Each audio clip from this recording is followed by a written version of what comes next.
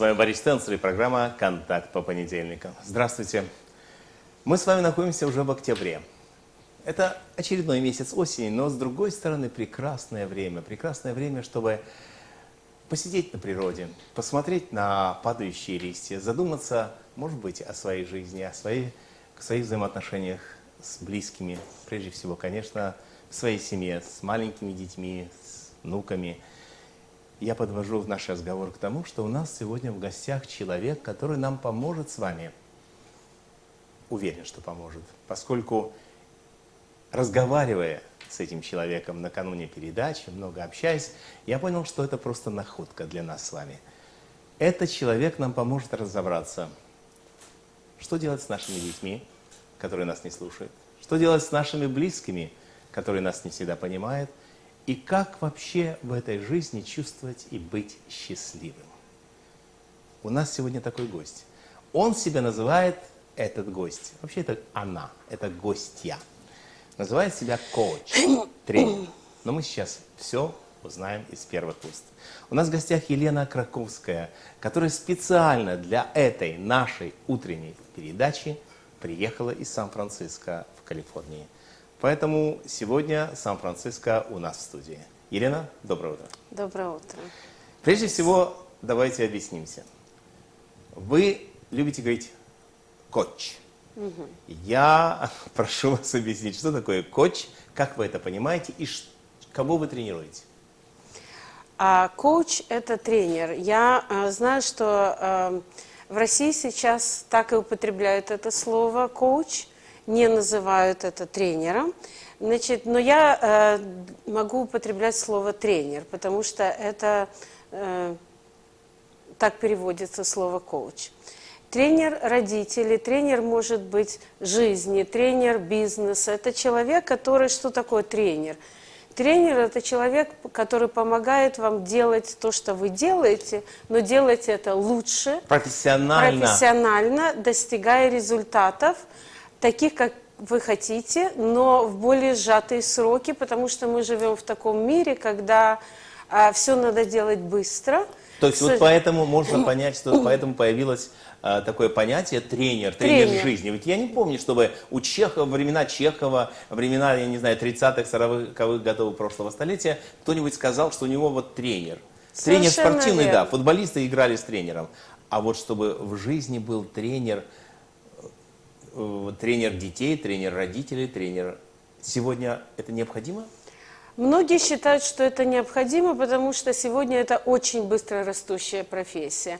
На самом деле, раньше, если мы э, вспомним времена Чехова, времена даже Бабеля, времена нашей жизни в России, это все происходило э, в более замедленном темпе. Были друзья, которым можно было прийти посоветоваться, были Э, какие-то знакомые, какие-то люди, которые просто помогали друг другу советом. Что делает тренер? Тренер не э, коуч особенно, не советует, а не советует, опираясь на свой жизненный опыт, потому что у каждого из нас а, совершенно уникальный жизненный опыт, который подходит нам. Но э, коуч, тренер то есть вы хотите сказать, что вот, например, ко мне кто-нибудь пришел, я говорю, ты знаешь, у меня была такая же ситуация. И ты знаешь, что я сделал? Я вот сделал вот так и так. Попробуй ты. Это неправильно? Это не, это есть, нет, нельзя сказать. Может быть, это сработает, и в этом случае это будет правильно. Но самый эффективный способ а, это спросить, какую ты преследуешь цель, что ты делаешь, чтобы достигнуть этой цели, и как это для тебя работает. Секундочку. Но я знаю немножко вашу жизнь. Да. И поэтому я хочу э, спросить, ведь вы же сами пришли в, в эту тренерскую работу от своей жизни, я, от своего опыта. Я пришла от своей жизни, от своего опыта, но это не то, что... Я прошла через очень большую боль, через очень а, тяжелое время жизни, а, очень большие проблемы с моим сыном. Я бы хотел вот здесь э, чуть-чуть, несколько больше, как бы, чтобы наши телезрители э, понимали, что мы имеем в виду через свою боль. Ваш сын ваш сын, насколько я знаю, он э, имел отношение и к наркотикам, и к, и к оружию, да, и к... Я, извините, что я как бы напоминаю ну, вам все это, да. и может быть это не очень, но уже прошло много времени. Э, в двух словах, как давно это было? Это было 9 лет назад.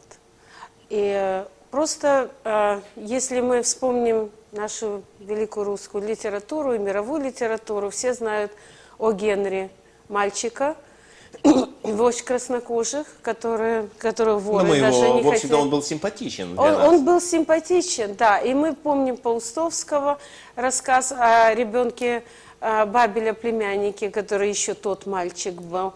Вот. И это все очень симпатично, это все очень nice, пока... Э, в чужой семье. В чужой семье, и пока ребенок еще маленький.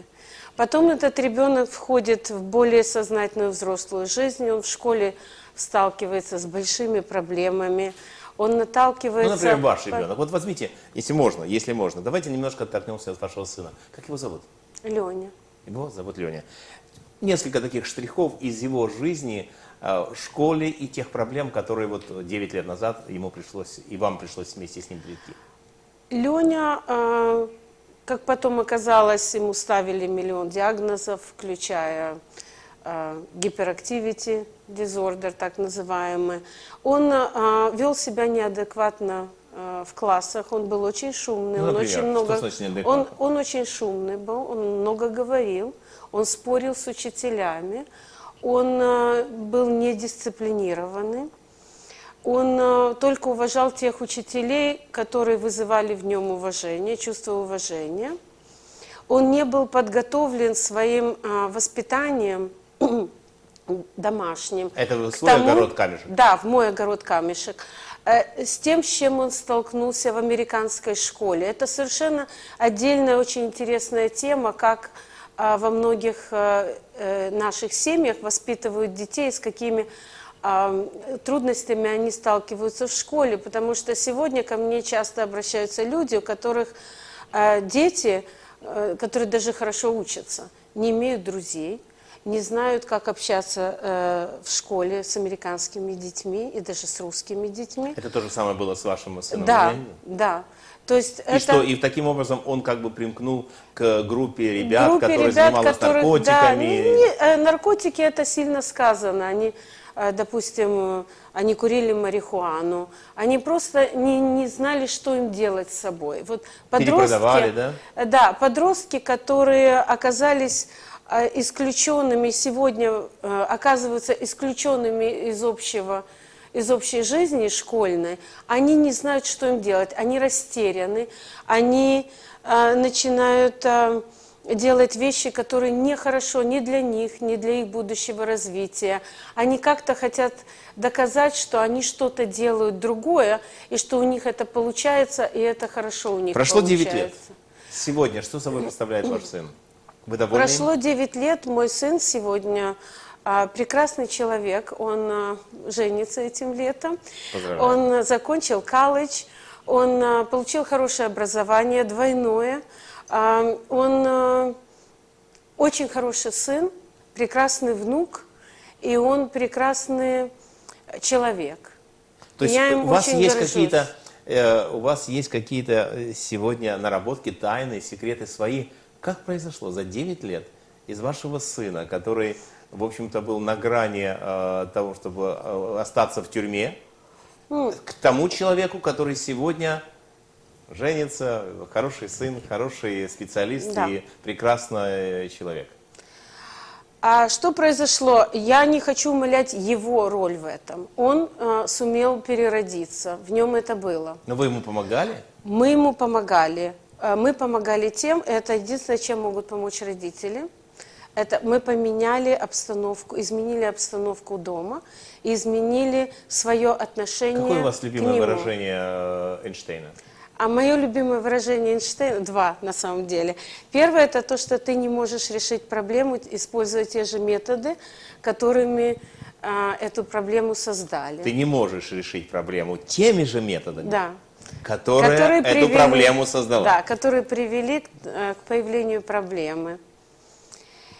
И э, Это как раз то, что а, мы сделали дома. Мы полностью изменили атмосферу в Ну, доме. например, например. Ну, например, есть еще такое, что так как ты относишься к человеку, таким, как ты видишь этого человека, таким человеком он станет.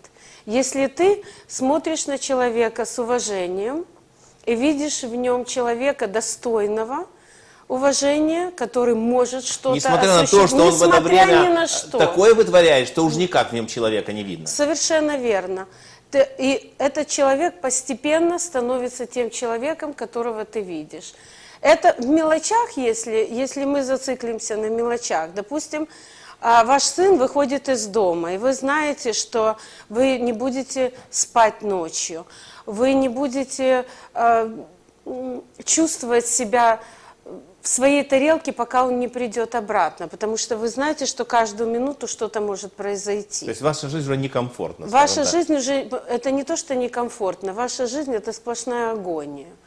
Но если вы куда ты пошел, что ты делал, у тебя плохие друзья, значит, какой в это время, а, что слышит человек, которому задают такие вопросы? Я ничтожный, мои друзья это ничтожество, я собой ничего не представляю, моя родная мама мне не доверяет. И он начинает себя вести так, как ты его видишь. Если ты в это время говоришь, допустим, я ухожу, хорошо, я тебя увижу позже, когда ты придешь, ты можешь это нормальный В три вопрос. часа ночи? В три часа ночи. Пожалуйста, сделай так, чтобы ты меня не разбудил, потому что мне завтра нужно на работу. Когда такое происходит, уже это поздно говорить, поздно читать морали, поздно а, Перевоспитывать. перевоспитывать уже ты можешь только показать, что я тебе верю, что все будет в порядке, и ты вернешься домой, и все будет в порядке. И когда человек чувствует, о, меня уважают, я не могу сделать ничего, такое, ничего такого, чтобы это уважение потерять.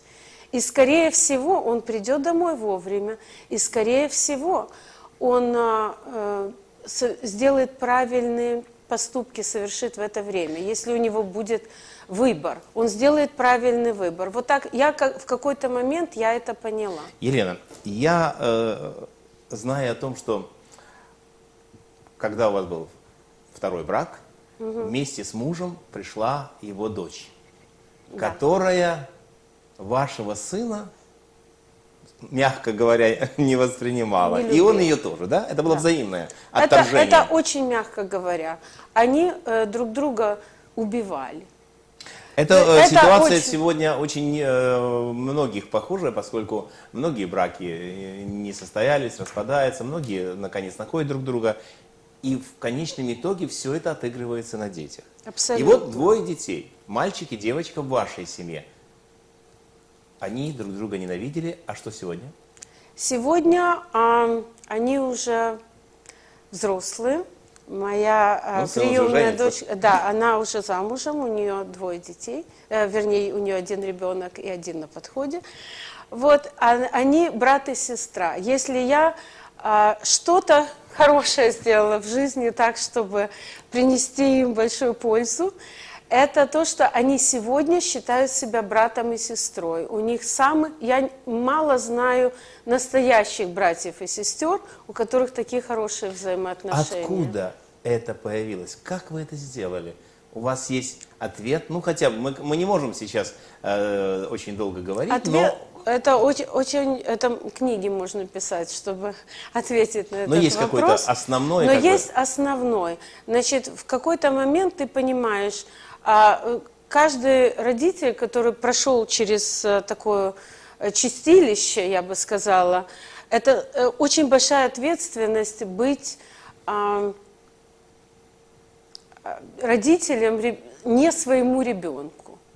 Это Стать родителем. Стать родителем не своего ребенка. Это невозможно, потому что каждый тянет одеяло на свою сторону, и свою боль своего ребенка всегда тебе ближе. Ты ничего с этим не можешь сделать. И это а, факт жизни. Поэтому все, что ты можешь делать, это отойти на шаг назад или еще на два шага назад и посмотреть в общем на всю ситуацию. То есть на своего сына тоже посмотреть отстраненно, как отстраненно, будто он тоже чужой ребенок. Как будто он тоже чужой ребенок. Потому что посмотреть на другого ребенка и сказать себе, это мой ребенок, это мало кто может сделать, это практически невозможно. Поэтому очень часто, когда родители начинают говорить, я тебя люблю как свою дочку, или я тебя люблю как своего сына, это неправда. Ты не можешь никого любить как своего ребенка, но ты можешь относиться как к своему ребенку. Ты можешь отступить назад, и ты можешь сказать, что бы я сделала, если бы это была моя дочка и мой сын. И очень часто мне приходилось от них слышать, что ты ее защищаешь, потому что у нее нету мамы. Или ты на его стороне, потому что он Ты твой сын. мама? Ты его мама. И мне приходилось отступать назад и объяснять им, что я это делаю, принимаю такое решение, потому что я считаю, что это справедливое решение. Если вы имеете у вас другое мнение, давайте мы это обсудим. А Но в какой ситуации вы не, не могли бы вспомнить? Это сложно? Ситуаций было миллион. Это ситуация, кто будет сидеть на переднем сидении. У нас- Ой, кто- какая знакомая да, ситуация. ситуация, да. Или а, там, если, допустим, а, на в свободные дни, допустим, на уикенд у нас какие-то, а, нам нужно пойти, допустим, посмотреть фильм, который хочет старшая девочка, а в это время младший мальчик хочет идти в это время со своими друзьями, а тебе нужно всех развести, и нужно понять, что важнее, и в какой последовательности. Это каждый день, каждый день Так вот, идет вот такая главное, вот я хочу- торговля. я себе хочу э, осознать. Э, самое главное что? Не, не зацикливаться, что это мое родное. Мое родное – это не мое родное. Самое главное, нужно себе сказать, что сейчас важнее и кому сейчас это нужнее. И даже если они этого сейчас не понимают, дети, они очень ну хорошо, ну вот умные. возьмем элементарно, переднее сиденье. Ну как можно в этой Ну, ситуации эта решать? ситуация самая еще простая. Можно установить очередность. Там, допустим, по дням недели, кто сидит впереди. Или они это могут между собой, допустим, там за какие-то услуги, которые они друг другу делают, они тоже могут. Но лучше в это не вмешиваться. Есть очередь, допустим, ты, у тебя есть календарь, сегодня на переднем сиденье, сегодня один сидит, завтра другой. И ты смотришь только на этот календарь. А как они договариваются между собой, это уже не твоя проблема. Прекрасно. А когда впервые у вас появилось ощущение, что вы, что вы могли бы быть, я не знаю, тренером или человеком, который может разводить людей? А впервые, если уже мы начнем вспоминать так, если я начну прокручивать всю свою жизнь назад, я вспоминаю мне детский сад, когда меня и мою двоюродную сестру впервые отдали в детский сад, она была очень расстроена тем, что я всегда опекаю детей, с которыми никто не хочет дружить. И она была, говорит, почему ты все время с ней или с ним дружишь, а никто с ними не хочет дружить. Я этого не понимала. Я говорю, ну кто-то должен с ними дружить. И я опекала этих детей. Вам просто было их жалко? Вот, Мне вот их сейчас, было жалко. назад. Да, мне их было жалко, потому что я видела, что стоит другое существо, я тоже была ребенком. Я видела ребенка, и с ним никто не хочет дружить. Для меня это было, я настолько общительный человек, что для меня это, у меня это не укладывалось в голове. Как это так, у человека нет друзей? Я начинала учить, что ты хочешь там этот совочек, дай ему свой, а он тебе даст свой, и так вы начнете Это вы дружить. Шесть- Вам было 6 лет, Да. а им было 4-5. Шесть. А, Нет, тоже, им а, то тоже же самое. Да, То есть с это, ровесниками. Вы- это своя же группа. То есть тогда вы работали с, работали с Да. ровесниками 6 лет. Сегодня вы тоже работаете с ровесниками? Вы работаете с родителями или с Я детьми? работаю только с родителями. То есть опять с ровесниками? Я работаю с ровесниками, да. Это очень интересно. Мне часто задают вопрос, а, чем моя работа отличается от работы психотерапевта. А чем моя работа отличается от работы психоаналитика? И э, работаю ли я с детьми? Значит, а, ответ такой, это, совершенно другая профессия. Психотерапевт концентрируется на том, что произошло в прошлом, как люди дошли вот до такой жизни, что произошло с ребенком же или с взрослыми людьми, с его родителями, что происходило в жизни, почему это произошло, чтобы найти а, ответы на вопросы в прошлом. Что делает тренер? Это, а, это не обязательно, что у людей какие-то сумасшедшие проблемы, или они дошли уже до агонии, или они уже пребывают в таком состоянии, когда они бегут и ищут любую помощь. Но тренер работает с людьми, у которых есть проблема, и помогает ее решить. Но человек должен прийти. Человек должен прийти. Должен почувствовать, что ему да, нужна что помощь. Ему нужна помощь. И очень часто, к сожалению, ко мне приходят люди, когда уже нужна большая помощь, когда уже почти что пришла беда, когда большие проблемы а, с подростками. И я понимаю, почему это, потому что у, у меня есть с этим мой личный опыт. Но это не то, на чем основывается а, моя работа. Я училась, я закончила академию для коучинга, тренировки родителей, а, специализируясь специально а, в работе с родителями с подростков. Вот. И поэтому не у всех подростков такие жуткие проблемы. Не у всех подростков а, бывают просто невзаимопонимание в семье, потому что не все родители понимают, как развивается мозг ребенка на разных стадиях э, развития человека, когда 6 лет, 7 лет, 12 лет, и что происходит, когда ребенок становится подростком. Поэтому вы э, предпочитаете и считаете необходимо работать с родителями, с потому родителями. что от них все исходит. Мой, единственное, что мне дал мой личный опыт – это не то, что я буду применять те же методы, которые помогли мне, или очень много еще зависит от личности человека, от личности самого ребенка или детей, потому что в одной и той же семье а, у детей совершенно разные характеры. Да, вот я хочу сказать, вот у меня есть э, накануне нашей встречи за неделю я у себя на сайте сообщил о том, что э, вы при, э, будете у меня в гостях, и я получил много э, писем, вопросов, которые как бы можно использовать. И вот, например, после перерыва мы включим телефоны, и, угу. уважаемые телезрители, вы сможете задать вопросы после перерыва сразу же. А сейчас пока вот я воспользуюсь теми вопросами, которые я получил сам по интернет-почте и ну, на сайте у меня. И тут есть как раз, вы заговорили, в одной семье угу. двое детей. Например, один ребенок, шестилетний, пятилетний, семилетний, один ребенок, например, мама уходит, один ребенок начинает плакать, требовать, чтобы мама осталась, ни за что не отпускает. Второй ребенок спокойно на все реагирует. Это что? Ведь одна и та же мама, одни и те же родители. Это разные дети. Разные дети. Разные дети. Э, э, к сожалению, в семьях очень часто к одним и тем же детям применяются одни и те же методы воспитания.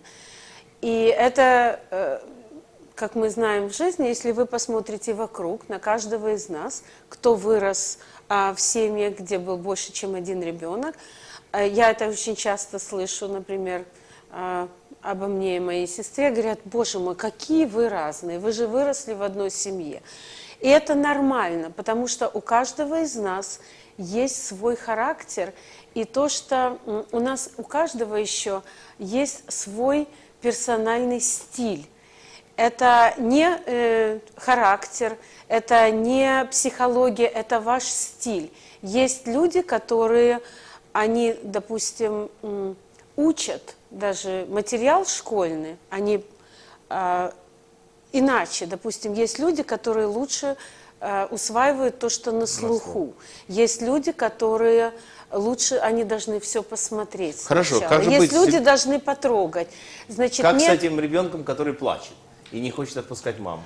Ну, что это, опять же, это э, как мы, верхушка айсберга только. Мы не знаем, э, для меня закрытая книга, что происходит в семье. Но а, мой просто предположение, что ребенок, который все время плачет, не чувствует себя. Почему ребенок плачет? Он Потому не хочет что один. он не хочет, боится. Почему этот ребенок боится остаться один? Почему этому ребенку так важно, чтобы мама была в этот момент рядом? А если просто предположение, что э, мама, может быть, даже такая простая вещь, все делает за этого ребенка. Когда мама уходит, этот ребенок не знает, что ему делать. Может быть старший ребенок за счет того, что он старше. Это может быть все, потому что я не Да, да, знаю ну, семью. естественно, это Старшему ребенку давали больше заданий.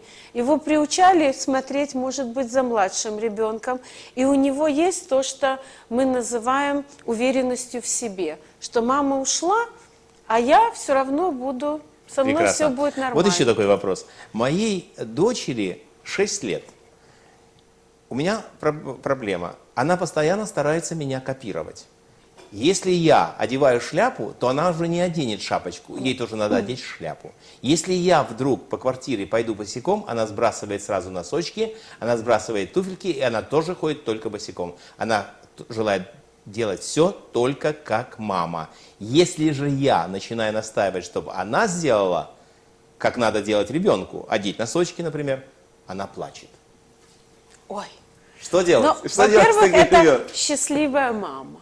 Потому что она для своего ребенка это самый большой герой. Это тот возраст, счастливая ее дочка сейчас находится в таком возрасте. ничего страшного в этом нет? Абсолютно нет. С 6 до, до где-то 9 лет, до 10 лет это самое счастливое время для родителей. И это как раз то время, когда им нужно установить вот эту связь с детьми, потому что они смотрят на своих родителей, это боги. Все, что он- мама, это ее герой. То есть пусть она, не, не- не- не переживает, все нормально, ну хорошо. Абсолютно. А как же быть с носочками? Как же быть с носочками? со шляпой? У меня есть на это один вопрос. Если ты хочешь, чтобы твоя дочка носила носочки, ты должна носить носочки. Ты не можешь ходить босиком и, и ожидать, что дочка будет хотеть ходить в носочках. Значит, тоже ходи в носочках. Или пусть дочка ходит босиком. В Америке дети ходят босиком, они вырастают абсолютно здоровыми. На самом деле, мое первое впечатление от Сан-Франциско, когда я приехала в 22 года назад, Эм, это было зимой. Я зашла в общественный транспорт, в автобус, я увидела китайского ребенка а, в пальтишке, без шапки, где-то приблизительно возраста моего сына, которому было 6 лет тогда, и босиком в сандалях. И я подумала, боже мой, бедные люди, у них, наверное, даже нету денег, чтобы купить ребенку обувь. На самом деле я узнала, что в Сан-Франциско все в любую погоду ходят босиком, включая уже меня. Я хожу во флип-флопс, в, этих, в таких, во вьетнамках, чтобы быстрее пройти по даунтауну на работу в прошлом, когда работала а, в компьютерной индустрии, я одевала вьетнамки, как все, зимой и шла. То есть, но для меня это был шок. Ну, ну, это отдельная Да, я понимаю. тема, но для мамы мама счастлива. Сейчас у нее самая главная задача, что пока ее дочка не станет подростком, не потерять вот это обожание своего ребенка. Не потерять. А как можно не потерять? Можно очень просто не потерять. Она свою дочку любит, дочка ее любит. Значит, если на единственный совет, если, если ты хочешь, чтобы дочка что-то делала а, правильно для, э, в твоем понимании, значит, ты должна это делать. Потому что наши дети нас копируют. Я уже в таком возрасте, когда я могу а, посмотреть назад, и дети уже повырастали. И я вижу, что происходит с детьми, когда они уже становятся взрослыми мамами и папами, когда они уже прошли, как они копируют, продолжают копировать своих родителей. Если ты хочешь, чтобы твоего ребенка был благородный характер, значит, ты Будь должен благороден быть сам. благороден сам. А, у нас в гостях Елена Краковская. Она тренер, коуч, тренер родителей, у которых дети то ли трудные, то ли нормальные, я не знаю даже. Но в любом случае, сейчас мы смотрим рекламу, а затем продолжаем нашу передачу, и вы сможете задать свои вопросы. Реклама. Кому она нужна, твоя правда? Зачем она? Какая правда? Что мне 30, а я на 35 выгляжу? Я давно молодая, интересная девушка. Женщина с непростой судьбой и сложным характером. Абсолютная загадка, сотканная из ярких эмоций. Громкая, строгая и напористая, и в то же время легкая, смешливая и неимоверно обаятельная. Многие ее всерьез побаиваются, ведь она по-настоящему сильная, непримиримая личность. Bay Wellness представляет уникальную оздоровительную программу при еврейском центре Kings Bay Y. Доктор Машенский составит для каждого пациента Bay Wellness персональную оздоровительную программу. Гимнастика в бассейне олимпийского размера по системе, разработанной в Израиле. Тренажерный зал, физиотерапия, массаж, витаминотерапия и иглоукалывание, сауна. Программа Bay Wellness поможет вам жить без боли в суставах и спине, контролировать диабет и давление, улучшить иммунитет и избавиться от лишнего веса. Принимаются все основные страховки и Medicare. В мире мало музыкантов такого класса. Им посвящали произведения гениальные композиторы. С ними играли и восхищались Рихтер, Ростропович, Башмет. Единодушны были самые злые критики. Четверо великих. Короли классики, легендарный квартет Бородина в Америке. Улыбнитесь. Вашу очаровательную улыбку, а также консультацию или лечение с применением новейшего оборудования и передовых технологий вы можете получить у доктора Татьяны Король. Стоматологическая клиника Татьяны Король. Стоматология высоких технологий. 3049 Ocean Parkway. Телефон 718 333 1144. Простите, с вами все в порядке? Спасибо, все хорошо. Вы уверены? Высокое артериальное давление – это тревожный сигнал, игнорировать который крайне опасно. Оно может стать причиной инфаркта или инсульта. Деда, что это у тебя мигает? Да ничего особенного. У большинства здоровых взрослых людей нормальное артериальное давление составляет 120 на 80 и ниже. Дорогой, Да, когда ты займешься этой проблемой? Не беспокойся об этом. При давлении 140 на 90 и выше вы ежедневно травмируете сосуды и увеличиваете нагрузку на сердце. Вот почему вы должны спросить у своего врача про препарат Диаван. Диаван расслабляет и расширяет сосуды, нормализуя циркуляцию крови, понижая артериальное давление, нормализуя уровень артериального давления. А теперь по-другому горит. Это мой диаван заработал. Диаван занимает первое место среди рецептурных препаратов своего класса. Беременным и тем, кто может забеременеть, не следует принимать Диаван. Препарат может повредить здоровью плода и даже стать причиной его смерти. Самые серьезные побочные эффекты Диавана – это низкое артериальное давление и проблемы с почками. До завтра. Диаван начинает действовать с первого дня приема. Спросите у своего врача, подходит ли вам Диаван. Пишите видеть цирк Григория Поповича с новыми номерами классикой русского цирка в турне по западному побережью Америки. Лос-Анджелес, Сакраменто, Сан-Франциско, Портленд, Сиэтл, Беллингхэм. Билеты в театральных кассах. Подробная информация на сайте comedipet.com.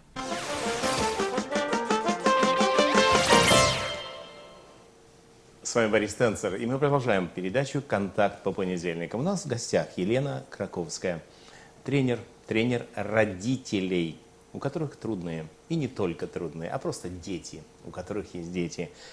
И Елена Краковская живет в Сан-Франциско, Калифорнии, и очень любезно, а, ну, у нее был отпуск, она была в Канаде, и очень любезно согласилась приехать, поскольку мы много с ней разговаривали о воспитании хотел сказать детей, нет, воспитание таких родителей.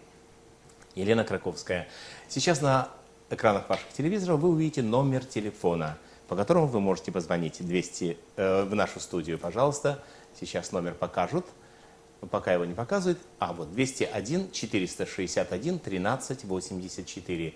201 461 13 84. Это прямой эфир. Звоните, задавайте вопросы и получаете ответы. У нас в гостях Елена Краковская, тренер, коуч родителей трудных детей. Елена, скажите, пожалуйста, как вы работаете с родителями? Как это происходит? Вот приходит родитель. Как вообще все это делается? А э, есть несколько вариантов, допустим.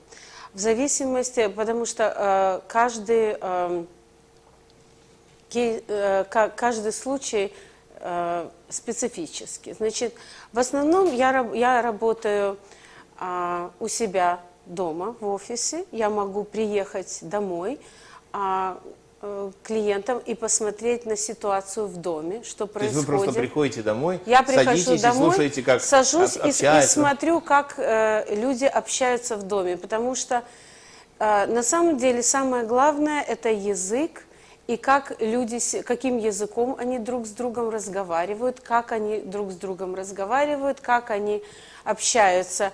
И есть эффективные способы общения, и есть малоэффективные способы Вы мне напомнили общения. одно мое желание. Когда-то у меня было желание, оно, кстати, сейчас еще не пропало, взять видеокамеру Мгм. поставить ее в угол. И в течение, сейчас можно поставить такую камеру, в смысле с такой кассетой, что она будет записывать 4-5 часов. Да. И чтобы она стояла и писала в течение полудня. Да. Где я общаюсь, где ко мне приходит кто-то, или я захожу, или я там с детьми, или... И потом посмотреть. Потому что, в принципе, со стороны мы себя совершенно не видим. Совершенно верно. Э, В этом заключается то, что я делаю. Я предлагаю родителям достичь их цели, потому что их цели всегда очень хорошие, благородные. Все хотят, чтобы их дети были успешные, чтобы у них э, была легкая жизнь, в том смысле, чтобы они не страдали, и чтобы э, они смотрели на своих детей и радовались. Все, что я предлагаю, я предлагаю им достичь эти цели более эффективными способами. Потому что если вы делаете вот, вот это, и это не работает, давайте попробуем, сделаем это иначе. И я объясняю, почему. У меня, я, я занималась, я очень много училась этому, но у меня еще есть врожденная интуиция, которая привела меня к этой профессии. А, Кстати, мы иначе- не закончили с вашим сыном, и мне э, очень интересно будет знать, а, как вы все-таки нашли общий язык с молодым человеком, которому было сколько там, 13-14 лет, и который вы говорите, что были бы проблемы, и он как бы двигался в направлении непонятном каком, криминальном. Но Понятно. вначале давайте поговорим с Юлей из Нью-Йорка. Здравствуйте, Юля. Алло, здравствуйте. Здравствуйте. Я вот э, впервые позвонила вам, и мне очень интересна эта передача. Я хотела бы задать вопрос Елене. Да, пожалуйста, говорите. Э, Вот у меня дочка э, вышла замуж второй раз, и всего лишь месяц после свадьбы. У нее десятилетний ребенок, и ребенок, в принципе, рос очень хорошим. И, понимаете, отца своего он не знает. И сейчас, естественно, у нее создаются проблемы, потому что ребенку кажется, что э, мама ему меньше уделяет внимания, она его меньше любит, чем своего избранника. Понятно. Все понятно, Юля? Мне, по, по крайней мере, понятно. Я думаю, что Елене тем более. Мне- Все было слышно, да? Всё Мне нормально? было хорошо слышно, я просто повторю. Да. Значит, а, ситуация такая, что молодая женщина вышла замуж второй раз, у нее ребенок, я не очень услышала, какого возраста. 10 лет. 10 лет. И что ребенок э, чувствует, что сейчас он уже менее важен своей Да, маме. да. Значит, а, очень, мне а, предпо- одно из предположений, если ребенок это чувствует, наверное, что-то происходит в доме, то, что позволяет ребенку это чувствовать. есть есть основания, скажем Есть основания. Дети редко, очень редко что-то чувствуют без оснований.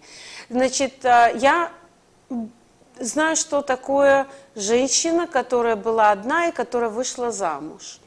И, естественно, а, хочется уделить внимание новому мужу, хочется уделить внимание ребенку, и тут ты каждый день выбираешь. Ты выбираешь, что тебе важнее. Я ни- никак не могу иначе ответить на этот вопрос. Каждый раз, когда возникает ситуация, ты выбираешь, что тебе Ну, важнее. выбор всегда, Вот но надо вы- как бы... ну вот, к этому например, я работала как-то с молодой женщиной, которая была в такой же ситуации. Я не знаю эту конкретную ситуацию, но я могу привести пример. Допустим, женщина мне говорит, что а, мой а, новый муж, когда он приходит домой, он должен отдыхать. Мой сын шумит. Сын шумит, сыну 7 лет. Значит, если ты вступаешь в брак с женщиной, которой есть семилетний ребенок, который прошел через развод, ты должен ожидать, что ребенок будет шуметь. И а, методы такие, что за столом все должны сидеть тихо, это совершенно а, эгоистично с моей точки зрения, с любой точки зрения. Мы должны рассчитывать, что каждый человек, который сидит у стола, включая семилетнего ребенка, такой же важный, как все остальные члены семьи. И поэтому проблемы, которые, допустим, новый муж испытывал со своим отцом, и поэтому он сейчас хочет свои порядки устанавливать в доме, не работают для маленького конкретного человека, маленького по росту, но человека вполне заслуживающего уважения.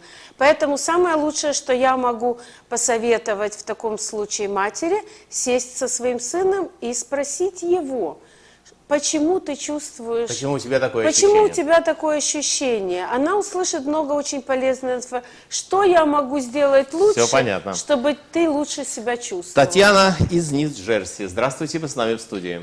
Татьяна? Здравствуйте. У меня вопрос э, к Елене. Я ам, новая мама. У меня э, сыну три года старшему и младшей ам, дочке э, только исполнился один год. И мой э, сын очень часто начал ревновать эм, э, меня с мужем и бабушку с дедушкой к его младшей сестре.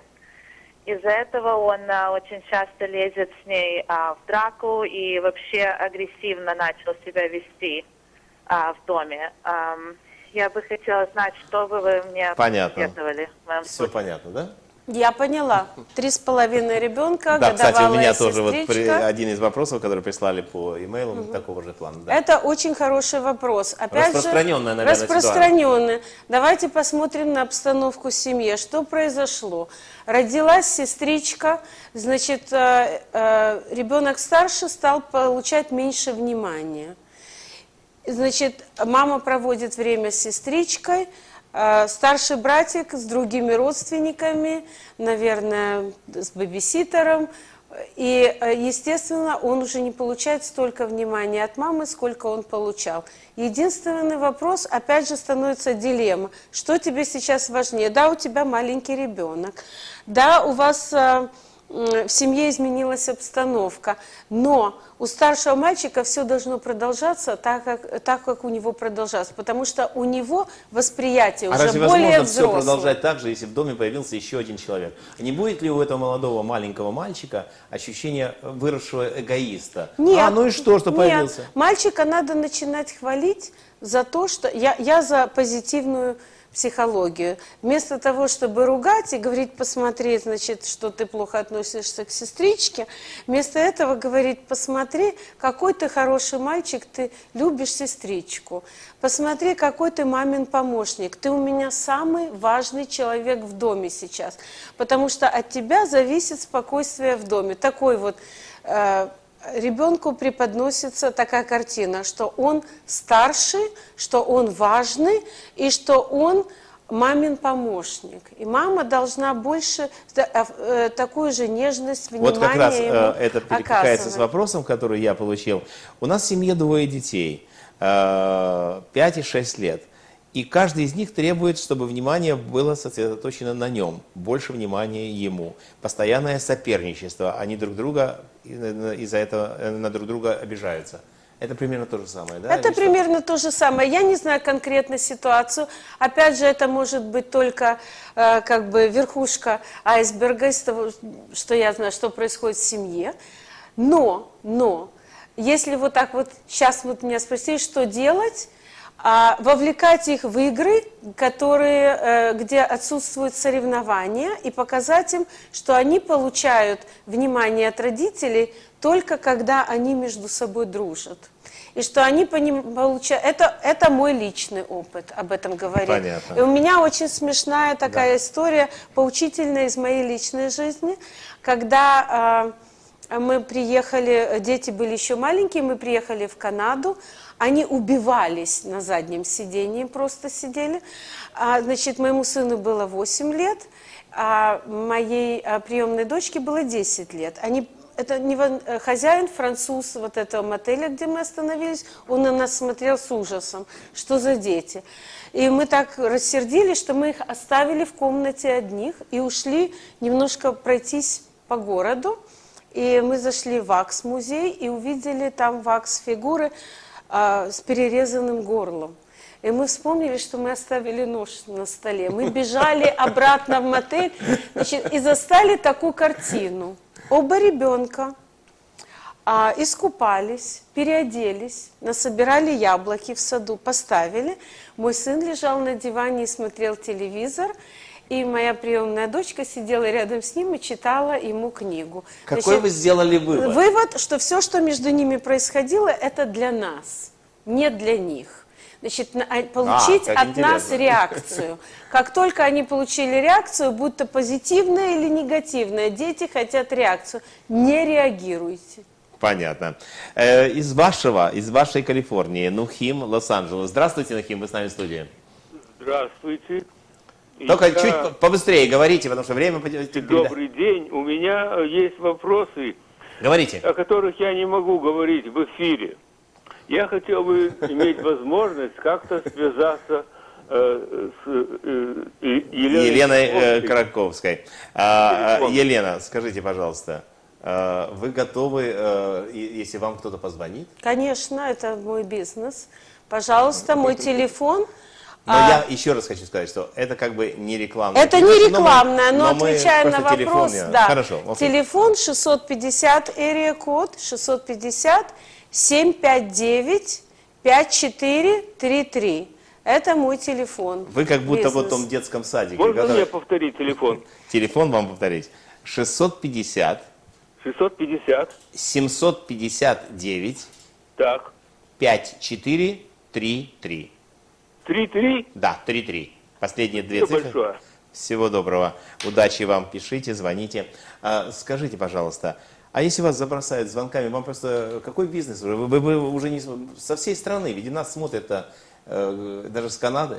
Как вы будете реагировать? Или вы готовы всегда, вот с того детского садика, помогать? Я всегда это, я люблю людей. Я чувствую их, э, ну, боль, скажем, как мать, как женщина. Я, я очень хочу, пом- я бы все отдала, чтобы, когда моему сыну было 14 лет, я бы многое отдала, чтобы возле меня был человек, который а, уже прошел все круги ада, и сейчас просто хоть, может, хоть как-то в каком-то э, направлении подсказать. То есть вы хотите что- сказать, что надо быть, ну, я не знаю, более открытым к тому, чтобы пойти к профессионалу, пойти к Абсолютно, э, да. тренеру? Да, у многих это а где искать мой, этих мой тренеров? дом. Где вообще, как это все происходит? Ну, Мы, искать мы можно... люди из Советского Союза, которые не имели возможности опыта общения с, трени- с тренером. У меня есть э, реклама. Нет, допустим. это у вас. Это у а меня. вообще, в принципе, а вообще надо на, смотреть на какие-то газеты. Где искать людей? В основном на интернете, потому что люди, которые, допустим, уже готовы к этому, они имеют доступ к интернету, они ищут помощь. Я в свое время, когда работала в компьютерной индустрии, я все находила на интернете. Я находила группы, которые помогают друг другу. Прямо писать группы- там коуч, да, да, parents да, группы родителей, которые друг другу помогают. Я прошла через, через очень много и пыталась найти все ответы, которые мне подходят. И если вы меня спросите, что в итоге самое главное оказалось, а, это та связь, которую я всегда э, имела со своим сыном. Он всегда знал, что я на его стороне. Неважно, что происходит. Я это тот человек, к которому он придет, когда ему плохо. Потому что очень многие дети, к сожалению, они пойдут к своим друзьям. Они пойдут за советом. В самую черную минуту они как раз не пойдут к родителям, потому что нет доверия. Значит, самое главное, до того еще, что ребенку исполнилось 13-14 лет, этот ребенок должен вам верить. Он должен знать, что он всегда или Хорошо, она вот такой вопрос, к вам. э, такой вопрос, который прислали мне. Ребенок э, занимается художественной гимнастикой. Он затерроризировал бабушку, дедушку и родителей тоже, желая постоянно, чтобы те смотрели, как он хорошо умеет выступать. Окей. Что делать с этим ребенком? Что невозможно сутками сидеть. Мы Может быть, опять ставим вопрос, что делать с ребенком, что делать с родителями, Ну, что а- делать. ну, нет времени с- сидеть, что- смотреть ребенка. Совершенно верно. Ну как так получилось? Что-то в, эт- в обстановке вокруг ребенка создало то, что ту ситуацию, когда он хочет, чтобы А, то есть из него него сделали что-то такое, как что Может, два варианта. вот это, да? Это культивировали раз, а может быть этот ребенок, он натуральный артист. Натуральному артисту нужны зрители. Понятно. Хорошо, у нас есть столько звонков, что... Да. Э, Лина, город Нью-Йорк. Здравствуйте, Лина, вы с нами в студии. Здравствуйте. Значит, у меня такой вопрос.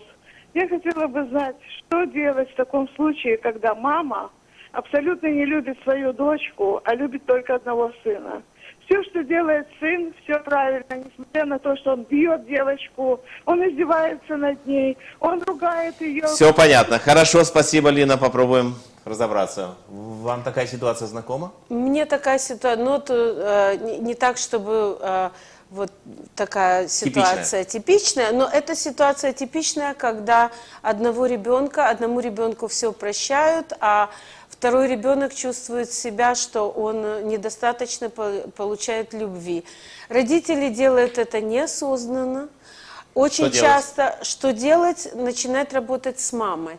Я э, э, исхожу из того, что все родители любят своих детей, но по той или иной причине, которая, может быть, скрывается в самих родителях, которые они неосознанно это делают, но они это делают. Поэтому, опять же, работать надо с мамой. Спросить ее, почему это происходит, и хочет ли она даже чтобы у нее были другие отношения с дочкой, а если хочет, чтобы, потому что начинаешь а, выслушивать и значит, а, дочка виновата, дочка не такая, дочка не сякая, все начинается и кончается родителями. Поэтому я делаю то, что я делаю. Мама должна Что, пересмотреть что, свое де- э, поведение. что делать с этой мамой, которой вот э, позвонила Лина? Эта мама должна хотеть изменить ситуацию, иначе ситуация Ну а если она не, не желает менять? Если она не желает, Никто не значит, может она- никто не может ее изменить. Скажите, пожалуйста, а вот э, до какого возраста можно вообще ребенка воспитывать? Мы не воспитываем Вот детей сейчас вы еще продолжаете Мы- воспитывать своего сына, который Нет, собирается у нас- жениться? Он- сын воспитывает меня. У нас все по-другому происходит. Я вообще считаю, что мы не, а, весь а, мой бизнес построен на том, что я предлагаю родителям не воспитывать своих детей, а, из- а показать детей, детям, как правильно. От них должна исходить вот эта энергия, э, которая приносит изменения в детях. Можно, э, я выскажу, как я это понимаю, что прежде чем что-либо делает взрослый человек, Да. он должен на какой-то долю, мгновение, секунды задуматься, как это смотрится со стороны. Со стороны ребенка, да. Потому что все, что происходит с нашими детьми, это то, что мы сделали. И в какой-то момент, когда ты себе говоришь, я это сделал, значит, я хочу это исправить, помочь, я должен исправить себя, не ребенка. Поэтому, когда ребенок идет к терапевту, у терапевта в любой терапии ребенок узнает, что все произошло, потому что у него в доме была такая обстановка. И это как э, недоросль, он поймет это либо вы маменька, либо вы папенька. Поэтому я предлагаю родителям изменить, когда ребенок, допустим, пошел а, психотерапевту и пришел домой, обстановка в доме могла, должна измениться. Поэтому я работаю с психотерапевтами, я работаю с родителем, психотерапевт работает с ребенком. Потому что, когда ребенок пришел домой, он должен увидеть изменения. Иначе все, что произошло, а, когда ребенок, э, за то время, что ребенок посещал психотерапевта, все просто будет уничтожено, потому что ребенок вернется в ту же обстановку, в которой он жил до того. Мы опять возвращаемся к Эйнштейну, что ты не можешь найти решение проблемы, применяя те же самые методы. То есть я предлагаю родителям поменять методы и поменять формулировку, как мы разговариваем с детьми. Например, маленький ребенок истерику укатывает. Можно сказать, что ты бессовестный, посмотри, что все на тебя смотрят, что происходит вокруг. И ребенок себя чувствует еще хуже, еще громче кричит. Можно в это время ребенку сказать, я вижу, что ты расстроен. Я не могу тебе помочь, пока я не узнаю, чем ты расстроен. Вот, например, едешь в метро, да? Да. И э, ребенок небольшой, там, 3-4 года, и заливается, ему что-то не нравится, ему не там дали сесть или что. Это можно изменить? Это Все мо- вокруг смотрят, а мама, естественно, или папа там переживает, нервничает. Мгм. И что? И что? Берут ребенка за руку, выводят на ближайшей остановке и с ним разговаривают очень уважительно и говорят, что мы заметили, что ты был очень расстроен в поезде, поэтому мы не можем ехать с тобой сейчас в поезде, потому что это плохой эффект на людей, которые находятся вокруг тебя. Еще тогда вопрос. Когда я приехал в Израиль первое э, время, одно из э, таких фактов меня что шокировало, когда в банк приходила мама, молодая мама, с ребенком, которому был годик, два, она брала этого ребенка, сажала прямо на прилавок перед э, работником банка, и давала ему какую-то ручку там с какой-то бумажкой и занимался своими делами. Меня это поразило. В России никогда в Москве, чтобы кто-то в сберкассе своего ребенка сажал его рядом с окошком э, администратора, это невозможно. Все реагировали нормально. Вы считаете нормально? Я считаю, что в этом ничего плохого нет, э, пока он не мешает натуральному процессу работы. Хорошо спросить кассира в банке, вы не возражаете, если я сейчас ребенка займу чем-то, чтобы я могла спокойно заняться своими делами. Хорошо еще принести что-то ребенку с собой, чтобы, потому что каждый человек или попросить ребенка, э, что я э, ты мне очень поможешь, если ты сейчас вот тихо сейчас постоишь, я сейчас закончу все свои дела, и мы с тобой пойдем, и а, ребенок любит маму, он любит сделать так, чтобы маме было хорошо. Вместо того, чтобы говорить, что я, допустим, вот ты тут сейчас не будешь спокойно стоять, так потом я с тобой посчитаюсь, лучше всего сказать наоборот. Если ты сейчас спокойно постоишь и поможешь мне, я потом помогу тебе и сделаю то, что ты хочешь. Вот еще вопрос, который мне прислали. А, в каком возрасте у ребенка можно определить талант и на, его направить? Потому что наш ребенок занимается и коньками, и э, скрипкой, и э, художественной гимнастикой, все ему нравится. А на чем же остановиться? Ребенку 7 лет. А ребенку очень тяжело сделать такой выбор, но родители должны ему предложить этот выбор. Допустим, из пяти вещей, которыми ребенок занимается, предложить ему выбрать три. Если у родителей есть проблемы со всеми пятью, может быть, ребенок может заниматься... То есть вы имеете в виду проблемы финансовые? Или да, какие? проблемы финансовые. А если ребенка это все устраивает, продолжать так и Если у ребенка пор, не, стра... да, не страдает при этом занятия в школе, или не страдает при этом какие-то другие функции, которые он должен выполнять, значит, почему нет? В какой-то момент ребенок сам выберет. К 13 годам он определится. Это, если у ребенка есть желание всем этим заниматься, поздравления родителям, замечательно. Потому что есть дети, которых заставляют, и они не хотят заниматься. Ребенок потом выберет сам, дайте ему свободу выбора. Понятно. Мне повторить телефон еще? Вы не боитесь звонков? Нет. Не боитесь. А номер телефона меня просят, чтобы я повторил. 650 759 54 33. Э, Елена Краковская, 650 759 54 33. Я хочу добавить, что я Но работаю у нас секунды да, только. с людьми иногородними, я использую NetMeeting. Но это э, да. ваши И э, это, вопросы. пожалуйста, у Елена, меня нет скажите, с этим пожалуйста, проблем. скажите, пожалуйста, э, вы довольны детьми своими? Я как очень человек довольна. и как э, тренер? Я очень довольна своими детьми. Прекрасно. Тогда Спроси, лучше их спросить, все- довольны ли они мной. Вот это для меня будет Вот самый надо было, большой чтобы ваш сын подарок. позвонил и сказал. Но поскольку он этого не сделал, а наша передача подходит к концу. Елена Краковская, тренер родителей трудных детей. Так сказала Елена. Я считаю, что детей трудных не бывает, просто бывают дети. И трудные родители. И трудные родители. Елена, большое спасибо вам. Спасибо, Спасибо что вы вам в, свои- в свой, в свой отпуск все-таки заехали э, к нам в студию. Я желаю вам хорошего полета, возвращения в э, Сан-Франциско.